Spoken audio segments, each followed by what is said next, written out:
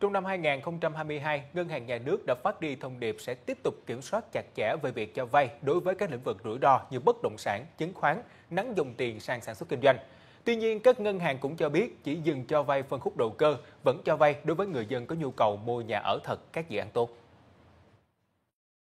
Từ ngày 25 tháng 3, Techcombank đã tạm dừng giải ngân các khoản vay mua bất động sản đã có giấy chứng nhận và vay thứ cấp mua bất động sản. Cũng vào cuối tháng 3, Sacombank phát đi thông báo liên quan đến việc siết tín dụng bất động sản theo chỉ đạo của Ngân hàng Nhà nước. Cụ thể, ngân hàng này sẽ không cấp tín dụng đối với lĩnh vực bất động sản, ngoại trừ cho vay cán bộ nhân viên và người thân mua xây sửa bất động sản để ở. Theo các ngân hàng, hiện dòng vốn đang được tập trung ưu tiên chảy vào các lĩnh vực sản xuất. Trong từng thời điểm, tùy theo vấn đề về sự tăng trưởng kiểm soát thì chúng tôi có sự điều chỉnh nhất định và nếu ở thời điểm nào đó à, khi mà những nguồn hoạt động à, về cho vay bất động sản giảm thì do do khách hàng trả nợ thì có thể chúng tôi điều chỉnh ngay tức thời chứ không phải là một cái sự à, cứng nhắc là sẽ tạm ngưng ở một thời gian, gian lâu dài.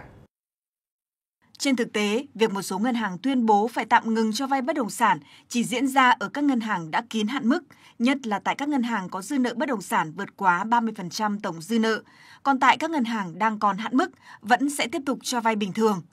Các ngân hàng cũng khẳng định việc cho vay chủ yếu tập trung vào phân khúc mua nhà ở, ít rủi ro, nợ xấu thấp. Dư nợ cho vay đối với cả à, lĩnh vực à, bất động sản à, của Vietcombank đến hết 31 tháng 12 năm 2021 Ờ, là ờ, 253.114 ờ, tỷ và tương ứng với lại là 26,3% tỷ trọng dư nợ tín dụng của Vietcombank. Thì trong đó dư nợ cho vay khách hàng cá nhân là 217.197 tỷ, tức chiếm 22,6% tỷ trọng dư nợ của Vietcombank. Thế và xin báo cáo là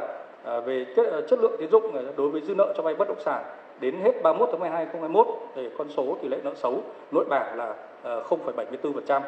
Như vậy là Vietcombank đang kiểm soát chất lượng tín dụng là rất tốt đối với lĩnh vực này. Theo thống kê, tính đến ngày 31 tháng 3 năm 2022, dư nợ tín dụng đối với hoạt động kinh doanh bất động sản đạt gần 784.000 tỷ đồng. Tín dụng cho vay mua nhà, sửa nhà cũng tiếp tục tăng mạnh, hơn 1 triệu 200 nghìn tỷ đồng, đưa tổng dư nợ cho vay bất động sản đạt trên 2 triệu tỷ đồng, chiếm khoảng 20% tổng dư nợ cho vay của toàn nền kinh tế. Và Ngân hàng Nhà nước chỉ hạn chế dòng tiền vào những phân khúc đầu cơ, rủi ro của những dự án lớn. Còn các dự án phục vụ nhu cầu ở thực của người dân, dự án nhà ở xã hội thì Ngân hàng Nhà nước vẫn khuyến khích hệ thống các ngân hàng cho vay.